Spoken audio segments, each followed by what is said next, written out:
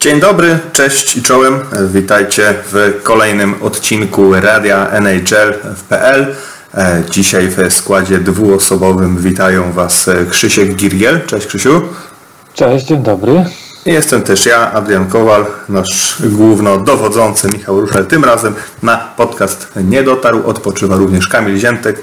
Takim składzie będziemy sobie dzisiaj zatem omawiać najważniejsze wydarzenia ze świata NHL ostatnich dni, może nawet tygodni, bo, bo działo się e, dość sporo i to niekoniecznie takich kwestii stricte sportowych e, i, mamy pewne zaległości, bo, bo też dość długo e, nie nagrywaliśmy żadnych materiałów, za co serdecznie przepraszamy, posypujemy głowy popiałem, obiecujemy, że to się więcej nie powtórzy. No i z racji tego, że tych tematów jest dzisiaj tak sporo, a zdradzę Wam, że przygotowaliśmy e, takie cztery główne wątki, to, to dzisiaj bez żadnego wstępu, bez żadnych opowieści rozgrzewkowych i różnych zabaw pobocznych, od razu przechodzimy do. Rozpoczynamy e, tematem, e, który jest takim tematem najgorętszym, najświeższym e, z tych, które dla Was dzisiaj przygotowaliśmy. Mianowicie jest to historia ze zwolnieniem Claude'a Juliena przez Montreal Canadiens. Menedżer klubu z prowincji Quebec, Mark Bergevin, najwidoczniej niezadowolony z tego, w jaką stronę zmierzali Canadiens w ostatnich dniach właściwie, bo przecież pamiętamy, jak dobry początek miał Montreal tych rozgrywek. E, to no, zauważył, że coś złego dzieje się z jego drużyną i podjął taką dość no, niekonwencjonalną decyzję. Krzysiek, jak ty to widzisz? Trochę nieoczekiwana decyzja, może nawet bardziej niż trochę. Dużo czytałem komentarzy, że w tym sezonie nie będzie zbyt wielu zwolnień trenerów, bo jakby wszyscy tam pracują w NHL teraz na w dość nietypowych okolicznościach, w dość nietypowych warunkach e, i trudno tak naprawdę rozliczyć za efekt e, tej pracy, czy, czy zawodników, czy tym bardziej trenera i nawet w drużynach, które, po których byśmy się bardziej spodziewali tych zmian, to, to, to mm, te ruchy są powiedzmy wstrzymywane albo się ich e, nie spodziewamy. Montreal rzeczywiście świetnie zaczął ten sezon, nadspodziewanie dobrze, no ale skończyły się mecze z Vancouver i skończyły się punkty dopisywane po stronie Montrealu. E, takie są komentarze, że Mark Bergevin dostrzegł, że po prostu drużyna już przestała się rozwijać i że ten z tym trenerem więcej nie osiągnie, on z nich więcej nie wyciśnie, a że potencjał jest jednak trochę większy niż to, co ostatnio Montreal pokazuje. Akurat to zwolnienie przyszło w momencie dosyć widowiskowym, powiedzmy to, bo po, po, po kilku z rzędach porażkach, y, po kilku z rzędach porażkach z Ottawą, która jak wiemy do potentatów nie należy, delikatnie mówiąc i nie wiem na ile to przyspieszyło pewne kroki, ale być może w głowie menedżera Montrealu już wcześniej takie myśli się pojawiały, że jeżeli chce zrobić jakiś krok naprzód z tą grupą, z tą drużyną, to raczej z kimś innym na ławce. Co do czego nie mam jakiejś takiej pewności przekonania, bo zawsze z decyzją o zwolnieniu trenera to, to, to bardzo chciałbym widzieć plan, co dalej, bo, bo zwolnić trenera jest łatwo, ale pytanie, kto teraz tę drużynę przejmie docelowo, bo, bo mamy teraz jakby trenera tymczasowego, Dusiarma. E, I od tego, kto tak docelowo przejmie tę drużynę, to chyba wtedy będzie można tę decyzję lepiej ocenić. No właśnie, Dominik Duszarn został następcą, czyli do niedawna asystent Kloda Juliana został nowym trenerem. Ja tutaj specjalnie w tym wątku nie, nie chcę też grzebać, bo ja już zdążyłem się wypowiedzieć tekstowo u nas na, na portalu, e, no ale tu przemycę może kilka wątków i też zapytam Ciebie o opinię, bo, bo, bo postawiłem taką tezę, że właśnie zwolnienie trenera to jest taka, taka ostatnia deska ratunku, bo, bo, bo Mark Bergevin też już jest menedżerem Montrealu od bardzo dawna, to już jest zdaje się siódmy, ósmy sezon, e, od kiedy ten człowiek zarządza Canadiens. Wyników przez ten cały czas właściwie jak nie było, tak, tak nie ma. Trochę mam wrażenie, Canadiens zafałszowali rzeczywistość tymi udanymi playoffowymi bańkami. E, chyba sami przesadnie uwierzyli w swój relatywny sukces, który tam odnieśli. E, wzmocnili drużynę teraz w off-season, ściągając czy Edmundsona, Tofolego, e, Andersona, e, Jake'a Allena. No, no, wydano sporo, sporo pieniędzy na, na te wzmocnienia, ale też zastanawiam się właśnie, no bo mówisz o tym, że już nic się nie dało wcisnąć z tej drużyny. Jest to trochę e, nielogiczne, nie? E, tak na to patrząc, bo tyle nowych twarzy, zupełnie nowy materiał ludzki, który miał do pracy i po kilkunastu dosłownie meczach decyzja, że, że już e, nic e, tutaj nie może poukładać na nowo, a przecież to, to było trudne zadanie, żeby taką nową paczkę ze sobą zgrać, zwłaszcza w tych okolicznościach, które mamy, bez obozów przygotowawczych i tak dalej. No dlatego też e, tym większe zdziwienie, że taka decyzja zapadła. Ja, ja nie wiem też, czy to nie jest trochę przypadek podobny do Vancouver w pewnym sensie, gdzie menedżer w pewnym momencie bardziej niż grać o rozwój drużyny, gra trochę o swoją posadę i jakieś takie krótkoterminowe ruchy wykonuje, żeby tu i teraz jakiś sukces osiągnąć. I w przypadku Jima Benninga, menedżera Vancouver, to, to było sprowadzanie takich zawodników, których bardziej byśmy się spodziewali pewnie po drużynach takich już gotowych do walki o Puchar Stanleya, takie uzupełnienia do, do, do trzeciej, czwartej linii, takie powiększanie głębi składu, e, to, to, to, to on teraz jakby ma z tym problem, z tymi kontraktami, to tak w przypadku Berżewena właśnie wydaje mi się, że zwolnienie trenera może być takim ruchem, żeby coś wstrząsnąć, żeby już teraz pokazać, że, że, że jakiś, jakiś wynik osiągnąć. Chociaż tu znowuż ta teza nie do końca się broni, bo ten wynik nie wyglądał źle, ich bilans wciąż jest No właśnie, no przecież jak spojrzymy w tabelę, to, to Montreal jest na plusie, ma więcej wygranych niż przegranych i jak sobie zrównoważymy tę dobrą serię, e, jak położymy na szali tę dobrą serię z początku sezonu i, i tę gorszą pasę, powiedzmy, e, która przypada gdzieś tutaj na, na, na początek lutego, no to dalej wygląda na to, że, że jednak tej dłuższej pasy było trochę więcej i ta szala opadnie na, na jej korzyść, nie? Szybko, szybko to się wydało. No z drugiej strony mamy krótki sezon, to, to też jest jakiś argument broniący decyzji Marka Bergevena. No, trzeba reagować szybko, jak faktycznie widzisz, że coś niepokojącego, coś złego dzieje się z drużyną, to, to, to tego czasu na reakcję, na zastanawianie się, na myślanie nie ma specjalnie za dużo, bo, bo kwestia dwóch, trzech kolejnych meczów, które powiedzmy nie poszłyby Montrealowi, no już jeden widzieliśmy e, z nowym trenerem i, i nic to nie dało na razie, no ale mógłby sobie później pluć w brodę ewentualnie menedżer Canadian, że, że zwlekał z decyzją, a, a może gdyby zrobił to kilka dni wcześniej, to, to byłoby lepiej.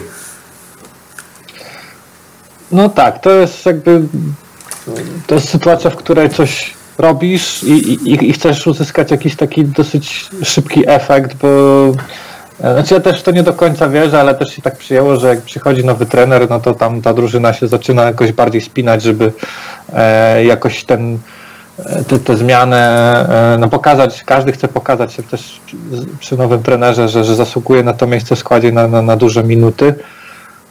Ale się zastanawiam, czy, czy, czy znowuż tu analogia do Vancouver, czy za chwilę Montreal nie będzie takim trochę zakładnikiem mm, swego budżetu płacowego, że sprowadzając, co też mówiliśmy już latem, zawodników, który z każdy z osobna jest bardzo ok, na bardzo ok kontrakcie, czy przypadkiem jakby za dużo zawodników z, takiej, z takich wyższych stanów średnich, takich jak Tyler Toffoli, a brak takich super gwiazd, brak jakby starań o takie super gwiazdy, a nawet jeżeli były starania, to nieskuteczne, czy nie zatrzyma na tym poziomie Vancouver, na, na, Vancouver, tym razem Montreal, e, czy nie zatrzyma Montrealu na dłuższy czas w takim miejscu, że może wystarczająco dobrzy na playoff, ale i za dobrzy, żeby zająć jakieś tam ostatnie miejsce i, i, i wydraftować super gwiazdy, ale jakby za słabi, żeby powalczyć o coś więcej. I nie wiem, czy to akurat trener będzie odpowiedział na, e, na takie dylematy, czy, czy, czy po prostu konstrukcja tego składu e, no, nie pozwoli zrobić kolejnych kroków. No właśnie, no bo to, to chyba jest tak, że no, nikt zdaje się poza menedżerem, e, wygląda na to, e, nie spodziewał się po, po Montrealu, że oni tu będą rozdawać karty w tej dywizji kanadyjskiej. No raczej tak przyjęło się gdzieś w opinii publicznej, że to Toronto będzie nadawało rytm rywalizacji, a tutaj Edmonton, Calgary, Montreal, E, właściwie wszyscy poza Ottawą będą mocno zainteresowani i mocno zaangażowani w grę o te trzy pozostałe miejsca e, dające awans do, do fazy playoff. No i właściwie tak też Montreal się plasował na razie, prawda? No oni są chyba teraz na czwartym miejscu w e, dywizji swojej. Tam no, Edmonton zaczęło grać naprawdę dobrze i Winnipeg nadspodziewanie dobrze i tak jak widzimy tę pierwszą czwórkę, to ja mam wrażenie, że ta czwórka... No, ale widzimy już Vancouver e, właściwie zasadniczo wypisane tak. E, z walki o, o, o playoff. Calgary ostatnio też sabotaż dość znaczący i też odstawa dająca im popalić. Także jakby ta czwórka dosyć wygląda bezpiecznie na tych swoich pozycjach, bo, bo, bo tak jak mówisz, trzy, trzy drużyny, które są teraz poza, e, poza tą czwórką, no to to są jakieś serie porażek. Może w przypadku Ottawy tak nie jest, ale to nie ma większego znaczenia. Oni akurat wygrywali trochę właśnie między innymi z Montrealem. E, i, i, no ale tak, Ottawa jakby jest wypisana już od początku sezonu z tej walki, a a, a, tak, a Canadiens, Jets, Oilers i Leafs to, to wyglądają na taką czwórkę dosyć bezpieczną, choć pewnie Calgary jeszcze będzie się dobijało do tego grona. A powiedz mi, um, gdybyś miał wytypować, może dam Ci chwilę na zastanowienie e, i, i, i, przemyślenie tego tematu i sam się wypowiem najpierw. Jaki trener może być kolejnym, który, który straci posadę w tym sezonie. No bo jak widać jest już dość nerwowo w koło ligi. E, jest e, kolejny kryzys, właściwie permanentny kryzys w ekipie Buffalo Sabres. E, no właśnie bardzo, bardzo słabo grają Vancouver Canucks. Niepokojąco wygląda sytuacja Calgary pewnie denerwują się na swoje wyniki, czy to w San Jose, czy, czy w Anaheim. No, no, może, być, może być ciekawie w tym względzie, czy w Nashville nawet. E, e, także, bo moim kandydatem na taką kolejną postać, która może stracić posadę, no jest właśnie e, szkoleniowiec wspomnianych przed momentem Calgary Flames, Joe Ford. No, widać, że coś bardzo niedobrego dzieje się z płomieniami. Tego nomen omen ognia, płomienia w ogóle nie ma w tej chwili w tej drużynie. Są niesamowicie tacy nie wiem, płascy, nie ma tam zupełnie emocji żadnej w tej drużynie, a jak są, to, to są raczej emocje, emocje negatywne, jak chociażby ostatnia reakcja Dawida Erytycha, który, który kiedy zjeżdżał z bramki, wygoniony właśnie przez hokeistów e, odstawy do szatni, nawet z głowy uderzył w ścianę z frustracji i złości i wyrażając swoją niemoc. E, I wydaje mi się, że Calgary to może być kolejny team, który będzie szybko poszukiwał zmiany, bo, bo pewnie e, no, dalej są mocno zainteresowani awansem do, do playoff, a, a to w tej chwili dość niebezpiecznie im się wymyka z rąk.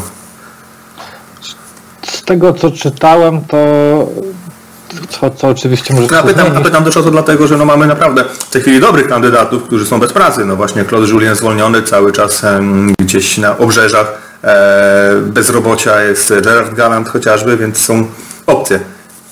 No, Bruce Boudreau też pewnie. I oczywiście.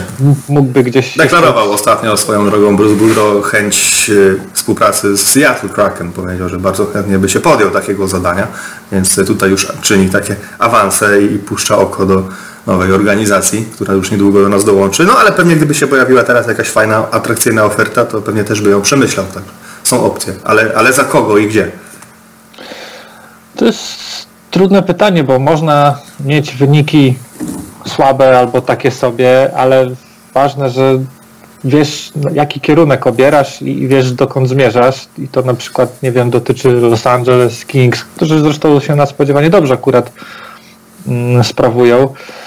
Eee, chodzi mi o to, że nie, nie zawsze to miejsce w tabeli tutaj będzie warunkowało e, przyszłość trenera, bo są, są drużyny, które są w jakimś momencie zupełnie świadomie takim E, niekoniecznie do wygrywania na już. Calgary rzeczywiście są w takim momencie, gdzie e, powinni bić się o playoffy co najmniej. Zresztą latem poczynione ruchy i sprowadzenie Markstroma miało im w tym bardzo pomóc, a tutaj jakby nie, nie wygląda to ostatnio faktycznie dobrze i ten styl rzeczywiście jest słaby, bo z tych ostatnich porażek dwie były naprawdę frustrujące, czyli, czyli 7-1, 1-7 z Edmonton Oilers i ostatni mecz z Ottawa 1 do 6 przegrany, no to są takie momenty, kiedy e, no już pojawiały się bardzo takie negatywne emocje i u kibiców i pewnie też i u osób odpowiedzialnych e, za klub i tutaj Brad Treliving też może dojść do wniosku, że, że dalej nie dojadą. Z drugiej strony no też obecny trener Calgary pracuje trochę w nienormalnych warunkach od początku swojej przygody z Calgary, bo, bo przecież też dosyć w dziwnych i nieciekawych okolicznościach przejął zespół po tej aferze z, e, ze swoim poprzednikiem w roli głównej. mm, i oskarżeniach.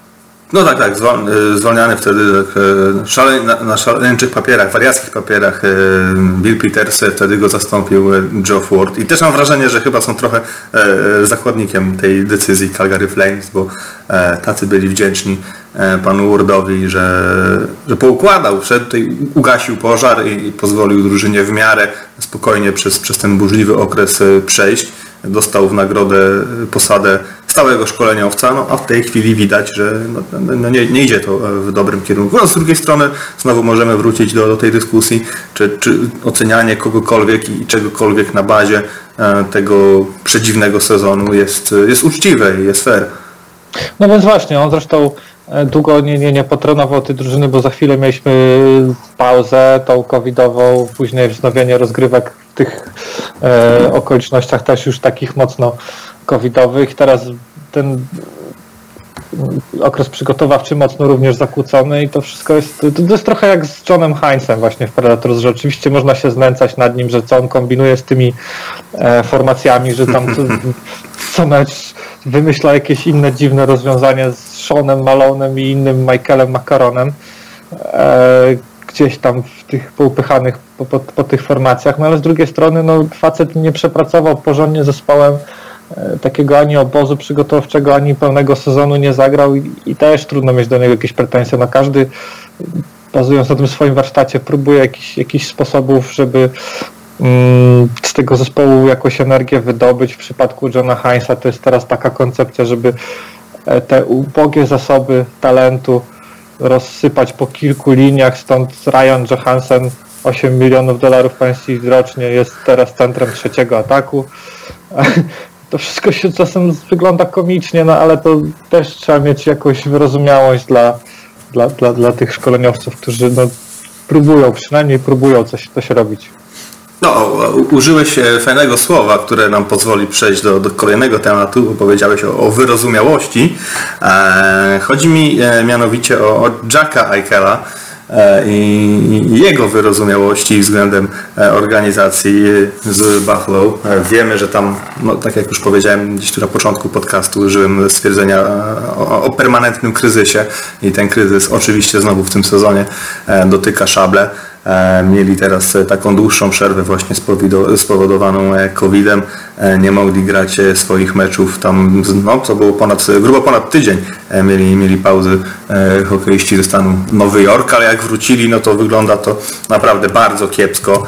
Odsunięty od składu Jeff Skinner, jeden, no to jakby nie patrzeć, z najlepiej zarabiających skrzydłowych NHL w tej chwili.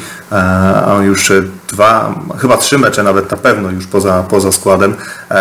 Bardzo słaba dyspozycja wszystkich liderów właściwie e, ekipy Buffalo. Mm, I właśnie z Jackiem Eichelem włącznie, natomiast no, coraz więcej mówi się i to już naprawdę w dużych mainstreamowych mediach o tym, że, że przygoda Eichela z Buffalo już może długo nie potrwać. I jak ty się na to zapatrujesz? Czy, czy faktycznie e, to już jest ten etap takiego e, zmęczenia ciągłymi porażkami i niemożnością wyciągnięcia tej ekipy no, z miejsca, w, której, w którym znowu się znaleźli? A wcale mnie nie dziwi jego tutaj frustracja, bo sprawdziłem to przed audycją. Buffalo Sabres od 8 lat wybierają w pierwszej dziesiątce draftu, co oznacza mniej więcej tyle, że od 8 lat są beznadziejni. Od 8 lat nie zrobili żadnego kroku naprzód. I oczywiście te 8 wyborów spokojnie mogłoby pozwolić zbudować jakąś fajną ekipę, chociażby na bazie tychże wyborów. A tutaj tkwią w miejscu i to tak bez jakiejś nadziei na, na, na to lepsze jutro, chyba że zaraz to się skończy kolejnym wy, wysokim wyborem. E, I dlatego nie dziwi mnie to, że, że, Jack Eichel może mieć poczucie, będąc już w tym klubie 5 lat, że trochę zaczyna marnować czas i swój potencjał, bo też trudno odmówić, żeby tam się nic nie działo, bo jednak były różne próby mm, dopakowywania budowy wokół Aikala jakiegoś ciekawego e, zespołu, ciekawych, ciekawej formacji, chociażby właśnie sprowadzenie Jeffa Skinnera. Tylko, że to kompletnie, co by się nie działo, to, to, to, to nie wypalało. Przecież był w tym klubie też Ryan O'Reilly przez, przez moment i też jakoś niespecjalnie to, to działało. W zasadzie Buffalo ma takie momenty w okolicach listopada, zwykle grudnia, kiedy coś tam wygląda, że może coś się ruszyło, ale to zazwyczaj polega na tym, że albo Carter Hutton ma jakiś wyjątkowo dobry moment, czy tam Linus Ulmark i wygrają kilka meczów z rzędu i, i wyglądają, że są blisko playoffów, po czym wszystko wraca do normy i są dalej słabi. A jeszcze jednym takim, moim zdaniem, e, barometrem tego dziadostwa Buffalo jest osoba Rasmusa Ristolainena, który chyba od jakichś dobrych trzech lat mówi się o tym, że zostanie wymieniony i nadal tam sobie jest i nadal jakby nie spełnia jakichś nadziei, no coś tam sobie punktuje, ale, ale to, to nie jest obrońca, na, który miał wyrosnąć na czołową postać tej drużyny. Jest raczej taki, taki, taki dryfujący już, dryfująca kariera, tak nie, nie bardzo wiadomo. No to prawda, akurat e, widziałem na początku tego sezonu, zaczął nadspodziewanie dobrze jak na siebie, no ale faktycznie był zawsze gość, z którego starano się zrobić e, inaczej, umieścić go w takiej ramce, e, na którą on był po prostu no, za mały, robiono mu trochę krzywdę, licząc na to, że to będzie ich e, tutaj Chris Pronger, który będzie zjadał 30 minut w meczu i będzie takim obrońcą numer jeden, on po prostu e, nie miał, nie, nie ma na to e, wystarczająco talentu, no ale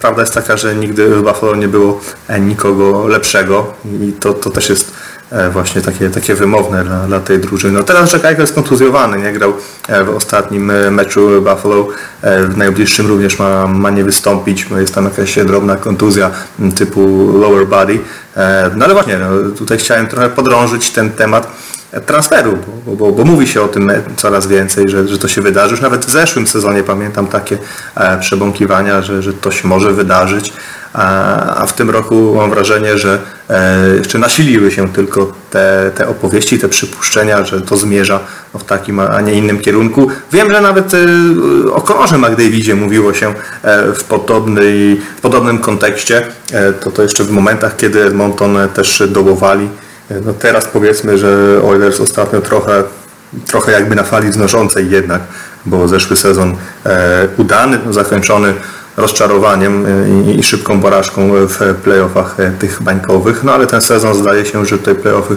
spokojnie w ich zasięgu i, pewnie postarają się tam mocno namieszczać. No i ucichły w tym momencie te opowieści o tym, że McDavid może być już zmęczony, może mieć dość, może być sfrustrowany. E, no, inaczej jest z Jackiem, Jackiem Eichelem. Gdzie, ty byś widział e, Jacka Eichela? Gdyby miał faktycznie, powiedzmy, w przeciągu najbliższych 5-6 miesięcy, e, czyli powiedzmy przed startem kolejnego sezonu, zmienić otoczenie i, i przenieść się gdzieś indziej. No tak z perspektywy mm, z perspektywy kibicowskiej to fajnie by było, gdyby trafił do jakiegoś klubu, w którym e, już jest już jest jakaś konstrukcja ciekawa i żeby mógł tak z miejsca mm, walczyć o jakąś już e, stawkę poważną, to, to, by było, to by było ciekawe. Z drugiej strony, jak tak patrząc na jego kontrakt, czyli 10 milionów, bo to jest jeden z tych e, bardzo niewielu zawodników zarabiających 10 lub więcej milionów dolarów rocznie, no to jakoś nie widzę innej opcji transferu niż za drugą super gwiazdę, która mm, też nie, nie, jakoś nie, nie może się odnaleźć. Fajnie by było, gdyby to był taki ruch w stylu Patrick Line za Pierlika Dubois i może właśnie na przykład Calgary jest takim kierunkiem, kiedy, bo tam też się mówi dużo o tym, że tych dwóch liderów, którzy mają mm, prowadzić do sukcesu w Calgary, czyli Sean Monahan i Johnny Goodrow, to też tam już się pojawiają, y, pojawia od pewnego czasu informacje, że, że mogą zostać wytransferowani, więc taki Goodrow plus coś, y, raczej coś dużego jeszcze, to, to byłaby, mogła być ciekawa wymiana. E, o ile nie wiem, teraz tak patrząc, czy by się to spięło budżetowo, finansowo, bo teraz jakby połowa drużyny przy tym e, przy stagnacji z salary cap, to, to tam jest u progu tego salary cap, więc to też trzeba by było jakoś sprytnie policzyć.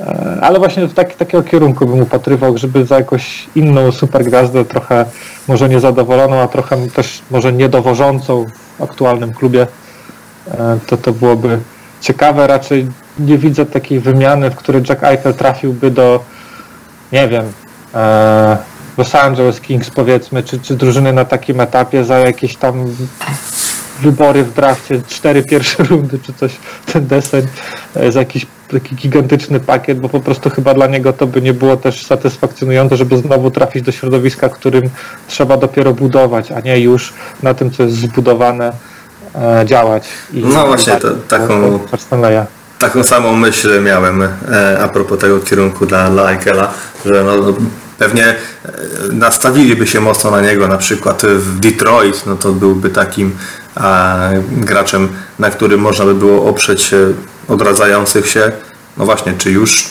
odradzających się, to, to trudno stwierdzić, e, Red Wings, e, tylko właśnie chyba, chyba to jeszcze nie jest ten etap, żeby tam przechodzić w tryb myślenia o, o playoff i o, o walkę, o jakieś konkrety i to chyba E, byłoby za szybko dla nich i, i Eichel tak z deszczu pod rynnę trafiłby przenosząc się z Buffalo właśnie do, do Detroit. A podejrzewam, że kilka klubów e, amerykańskich jednak tu się mocno nastawi na e, właśnie bądź co bądź Amerykanina i to pewnie jakieś duże teamy ze wschodniego wybrzeża. Gdzieś po głowie chodziła mi Filadelfia E, no bo oni lubią zawsze duże ruchy. No centra wiadomo od zawsze e, poszukują Montreal Canadiens, co prawda nie, był, nie byłby to e, francuskojęzyczny center, ale, ale wciąż center o, o wysokiej klasie, dużej jakości, więc pewnie tutaj jak zawsze Mark Bergevin miałby takie plany i tutaj zakusy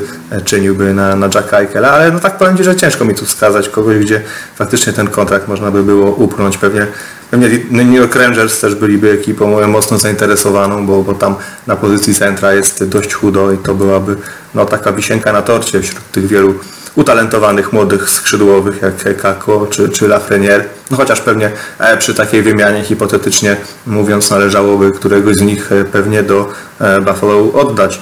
A to już pewnie by nie była taka e, przyjemna, przyjemna historia, no ale e, z całą pewnością jakiś taki duży rynek też medialnie, e, mam wrażenie, interesuje Jacka Eichela.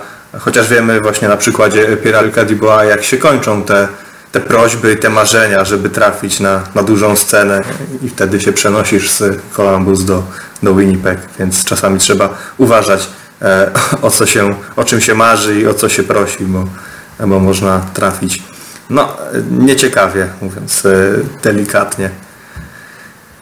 Kończymy. Tak, coś jeszcze masz na ten? Wziąłeś taki wdech? E, chciałeś podsumować, jak sądzę.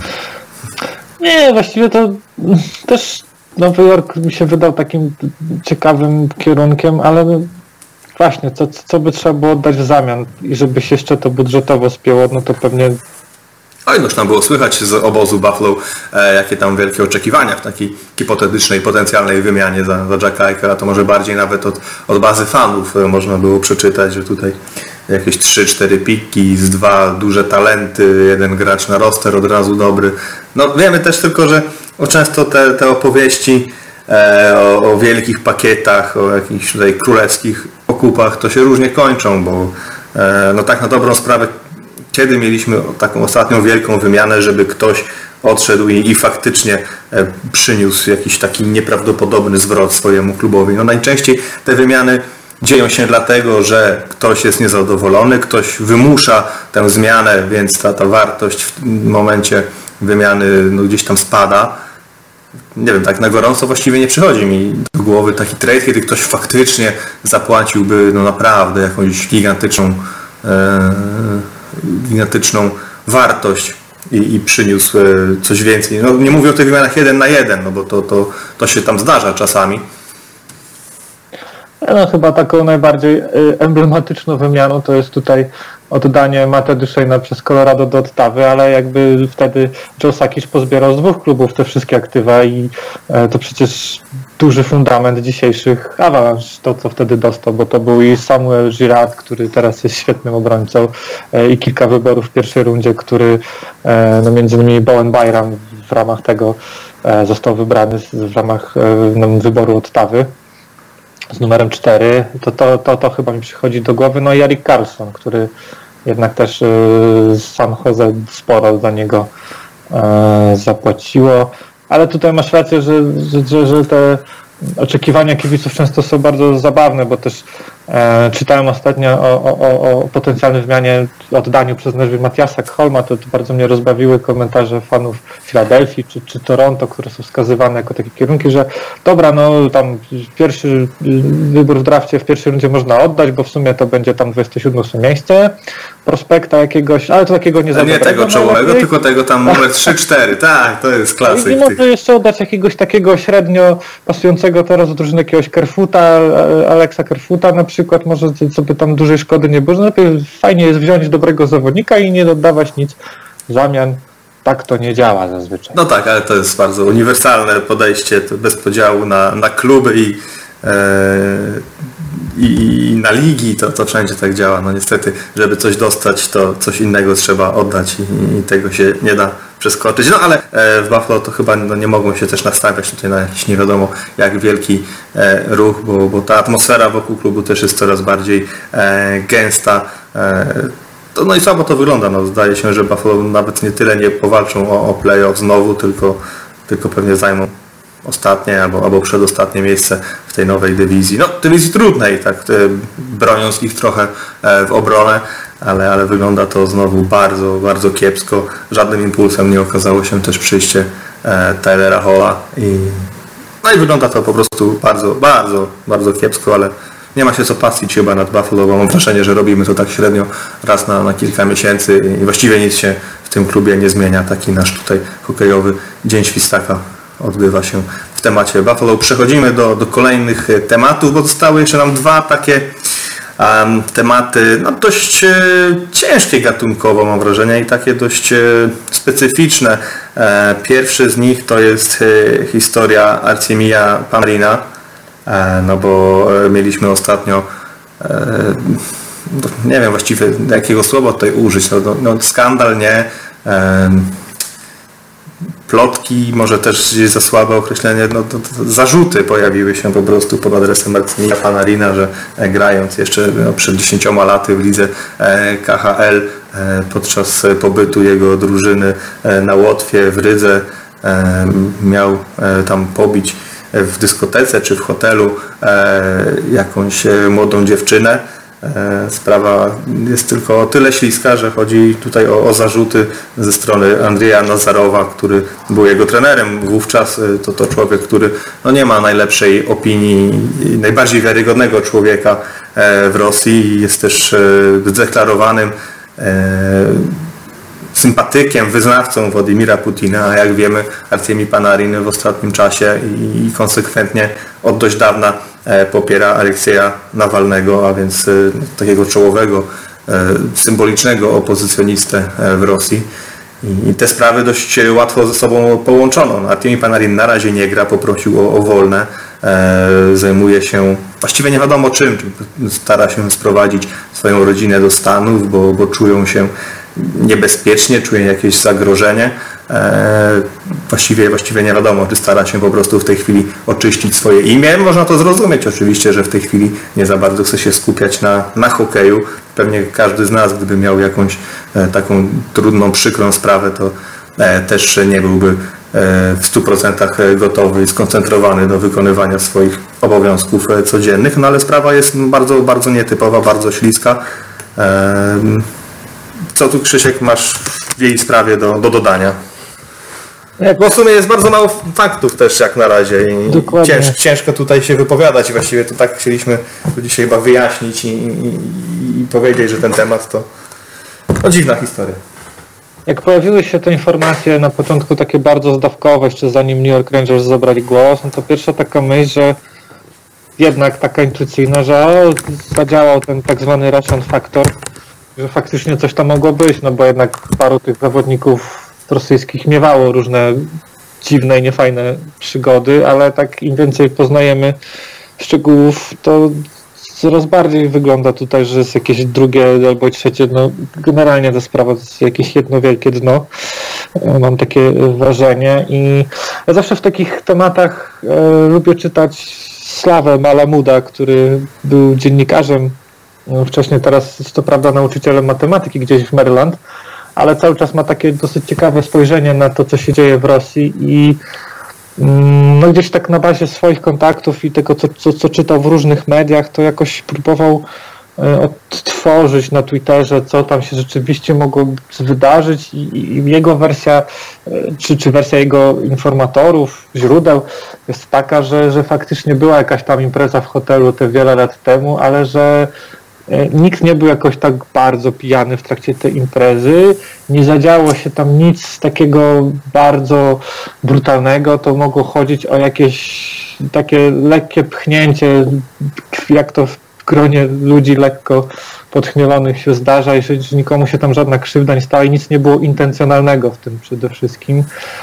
No a szerszy, szerszy kontekst jest taki, że faktycznie Artemi Panarin, znaczy dużo się mówiło o tym jego poście na Instagramie, kiedy on jakby opowiedział się za Nawalnym, ale on już w poprzednich latach parę wywiadów udzielił takich, w których wyraźnie się mm, odciął od, od Putina i wręcz krytycznie o nim e, mówił, a takie reżimy jak jak e, Rosja właśnie, jak Putin. Dla nich sport jest po prostu kolejną taką, kolejnym takim polem do e, działań propagandowych i w momencie, kiedy jedna z największych gwiazd, jednego z najbardziej tam lubianych sportów, takich najważniejszych, przecież sam Putin zresztą sobie organizuje regularnie jakieś mecze, w których po prostu wygląda jak Conor McDavid, zawsze strzela tam milion bramek i świetnie się bawi w otoczeniu osób, które jakby nie bardzo mu w tym przeszkadzają, to, to, to właśnie dla niego hokej jest też takim, sport w ogóle i hokej w szczególności jest takim strategicznie, propagandowo ważnym środowiskiem najzwyczajniej w świecie i łatwo tutaj te, te, te kropki tak połączyć, że w momencie, kiedy jedna z największych gwiazd tegoż, tej dyscypliny w Rosji wyraźnie go krytykuje, to, to, to jest ta gwiazda staje się jakimś celem. Taki. No właśnie, myślę, że to jest taka, bo mówię, no tak jak już tutaj zaznaczyliśmy, no jest bardzo mało wiedzy na razie na ten temat i, i, jest bardzo niespójna ta historia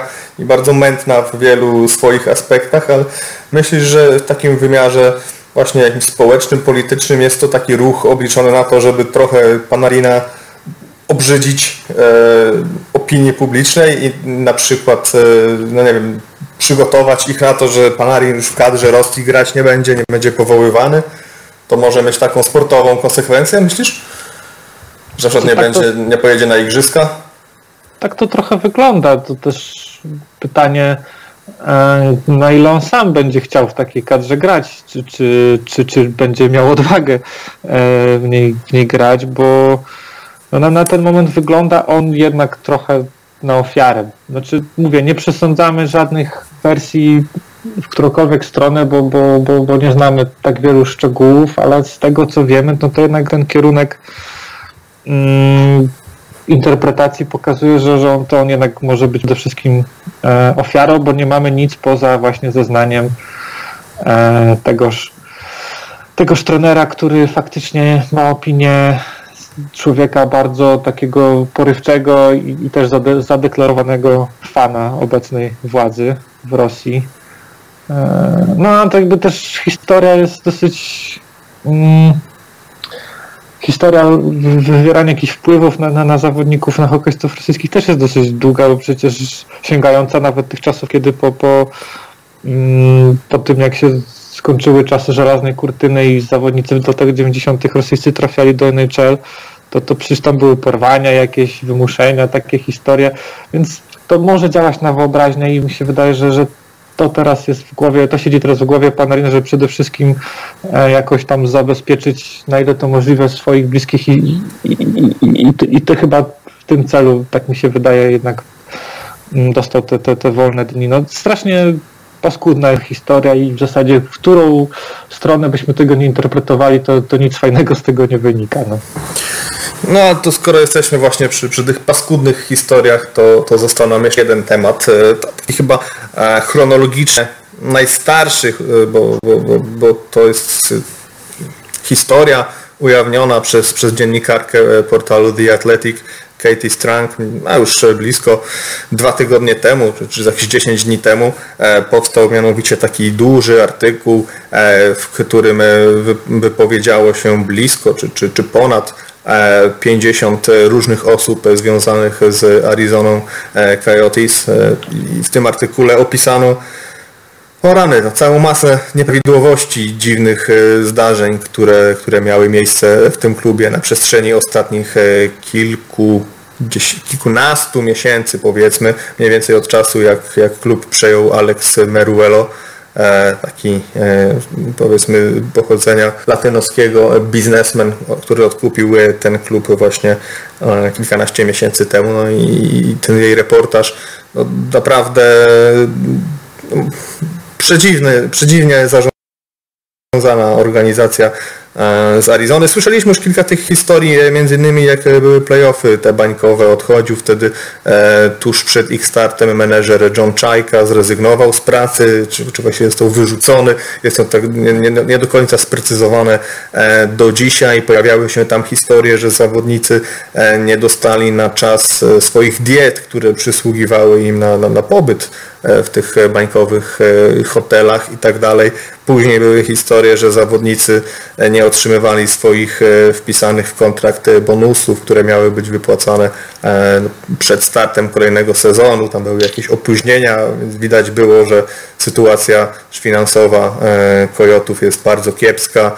Pojawiały się też takie informacje, że syn właściciela staje się postacią dosłownie ważniejszą niż menedżer John Czajka. Negocjacje wówczas jeszcze, jeszcze z Taylorem Hallem, który miał kontrakt być może przedłużyć w Arizonie, no, toczyły się takie e, rozmowy wstępne. On nie brał w nich udziału, brał właśnie syn właściciela. No a ten reportaż Katie Strank jakby jeszcze tylko poszerzył nam to, to okno na, na wszystkie e, dysfunkcje, które targały Arizoną w ostatnim czasie, o tym jak tam e, zwalniano pracowników, jak ich zastraszano, jak dziwnie rozliczano się ze wszystkimi dostawcami, którzy tam, nie wiem, wynajmowali jakieś powierzchnie handlowe na meczach Arizony. Nie, był kłopot z regulowaniem opłat za, e, za wynajem hali, za, za, leasing tej, tego obiektu od, od miasta, czy tam od, od, od gminy, czy, czy hrabstwa właściwie, bo, bo, to, bo to Stany przecież. O całe mnóstwo takich dziwnych opowieści. E, nie wiem właściwie, jakie tu pytanie należy postawić. Czy to, to już jest moment, w którym naprawdę trzeba uznać, że, że projekt Arizona Coyotes to jest coś, co się udać nie może i należy się z tego wycofać wreszcie? Ten reportaż, który też czytałem, to jest historia rzeczywiście daleka od sportu. To jest po prostu jakiś reportaż o takiej korporacji zarządzanej wedle najgorszych stereotypów, wedle najmroczniejszych e, skojarzeń związanych z korporacją, czyli tam się pojawia dużo wątków takich no, brutalnych, nazwijmy to, dużo takiego braku szacunku dla ludzi. Też jakieś podejrzenia nawet mobbingowe, o, mobbing i jakieś molestowanie, no czego tam nie ma, no, jest po prostu jakaś puszka Pandory jedna wielka i faktycznie mm, o ile takie wydarzenia jak to, to nagłe odejście Johna Czajki, to, to, to było bardziej takim sygnałem, trochę jeszcze wtedy nie do końca zrozumiałem, bo przecież e, no nie mieliśmy tej pełnej wiedzy, co tam się wyrabia, a, a, a ten reportaż w zasadzie nam wszystko wyjaśnia, to co się działo przez ostatnie miesiące w tym, w tym klubie. No po drodze jeszcze była ta historia z wyborem zawodnika w drafcie oskarżonego o też jakieś znęty jeszcze w latach szkolnych gdzie też ten wybór ostatecznie, ostatecznie przepadł, zrezygnowali. No, zrezygnowali z niego, bo spotkała tak. ich gigantyczna krytyka medialna. Nie, nie, pamiętam w tej chwili nazwiska tego chłopaka, e, chyba Miller, Miller, ale imię. Mitchell Miller. Mitch Miller, o właśnie. Tak, tak, tak. No, oni go wybrali, mimo że jakby całe środowisko hokejowe, scoutingowe miało go na takiej czarnej liście, żeby, żeby go nie draftować, bo, bo to jest e, no, gotowy problem dla organizacji. To Arizona zdecydowała się go wybrać. E, kilka dni później wycofano się z tego wyboru, powiedziano, że oni rezygnują w takim razie i po prostu no też to, to totalnie sobie spartaczyli i cały draft. To tak słowem jeszcze tutaj rozjaśnienia akurat tej historii. Dobrze, że przypomniałeś ją, bo, bo zapomniałem ją wymienić. No spartaczyli draft, który i tak mieli już spartaczony, bo przecież przepadły i, i przepadną jeszcze piki za nielegalne E, testowanie y, za nielegalne kontakty z mm, tymi młodymi zawodnikami. Przecież w tym, w tym roku nie będą wybierać w pierwszej rundzie z tego powodu. E, więc już jakby tylko, tylko taka wisienka na tym y, nie, niezbyt smacznym torcie.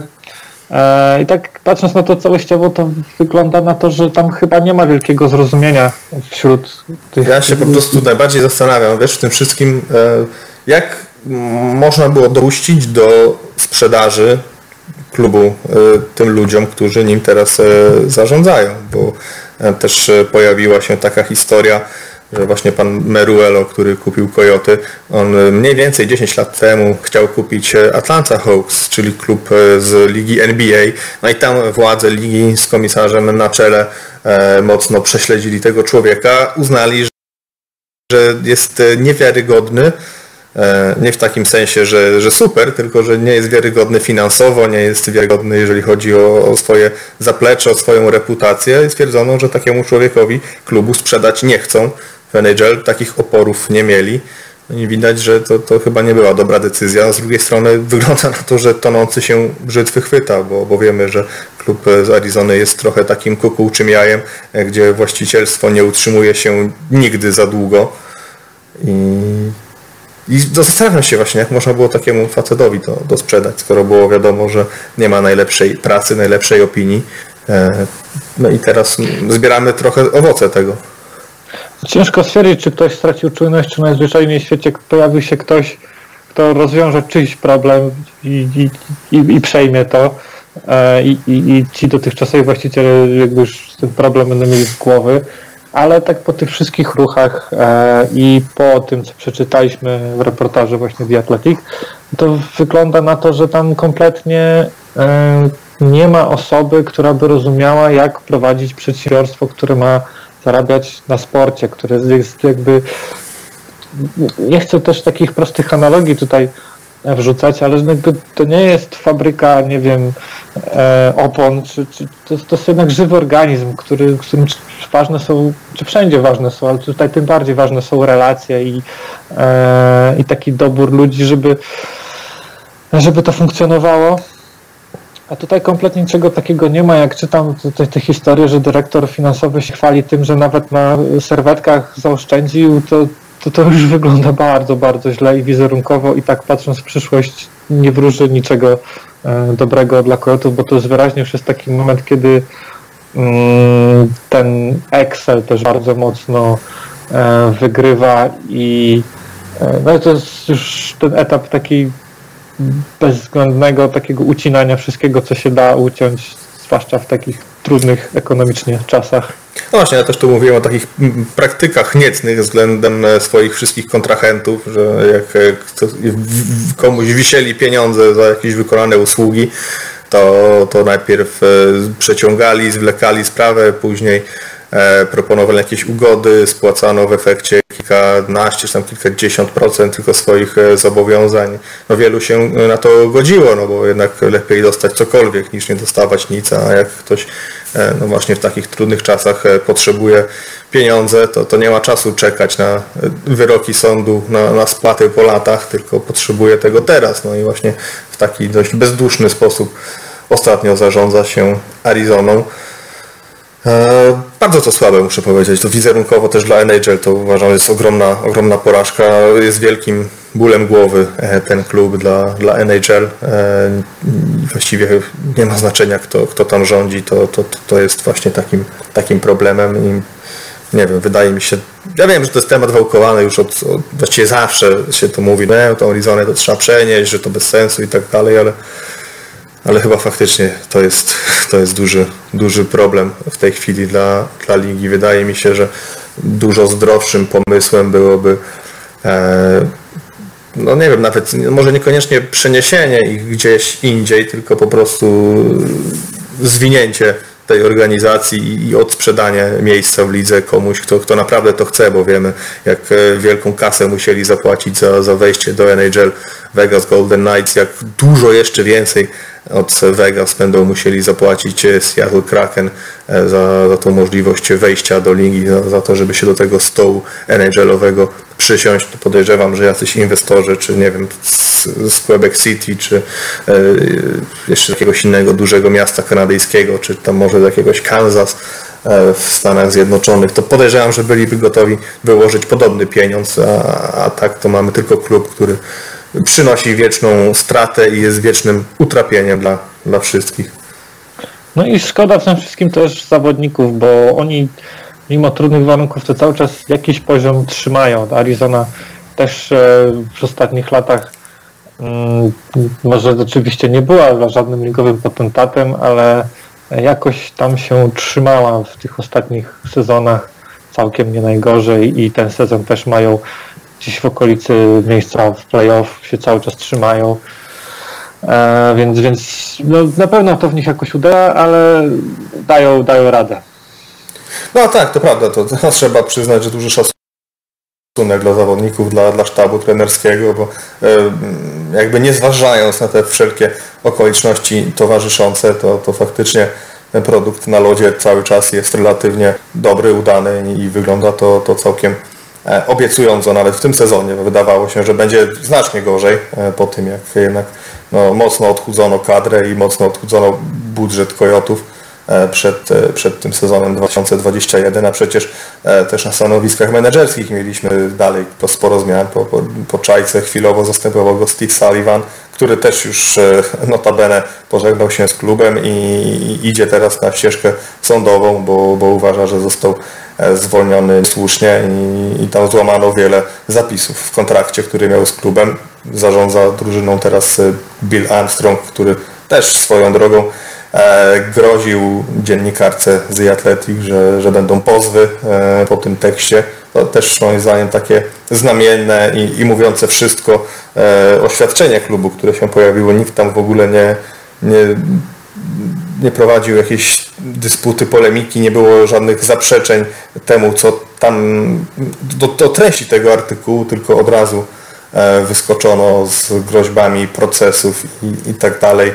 To też mam wrażenie, że tylko potwierdza to, co mówili wszyscy zwolnieni wcześniej e, pracownicy, czy też ludzie, którzy nadal pracują w tym klubie na jakichś stanowiskach tam biurowych, że, że się boją, że jest atmosfera fatalna, ale e, nie chcą nic mówić więcej, bo na pewno będą zaraz e, jakieś pozwy i, i doszukiwania się, kto tu opowiadał. Więc taka, taka reakcja nerwowa klubu z Arizony bo tylko pokazuje, że, że to wszystko prawda.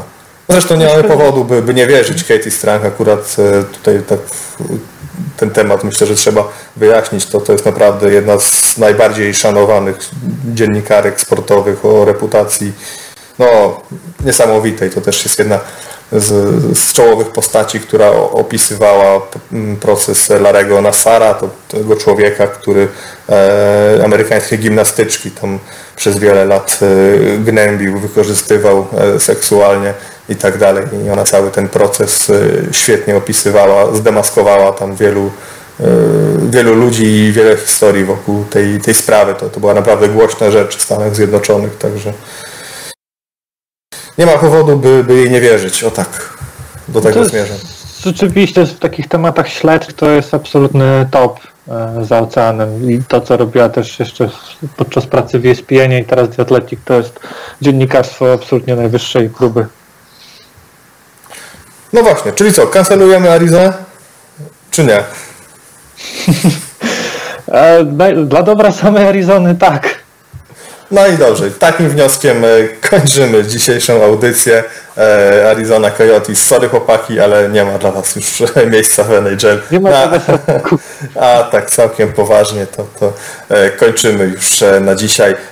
Mam nadzieję, że wszystkie ważne wątki, takie no, powiedzmy około sportowe udało nam się nadrobić. Obiecujemy też, że w najbliższym czasie, na początku kolejnego tygodnia, bo nagrywamy w weekend w sobotnie, takie wczesne popołudnie, tę audycję obiecujemy tu już z Michałem Ruszelem, że też nadrobimy temat, który ostatnio e, robiliśmy, to znaczy e, składy na Igrzyska Olimpijskie. To pojawi się już niedługo.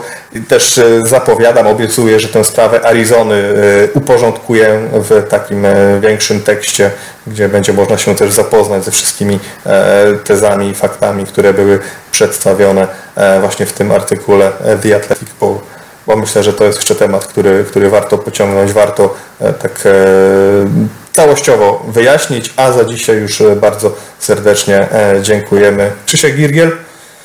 Dzięki bardzo. I Adrian Kowal. Życzymy Wam wszystkim udanego weekendu i trzymajcie się ciepło. Do słyszenia w kolejnej audycji.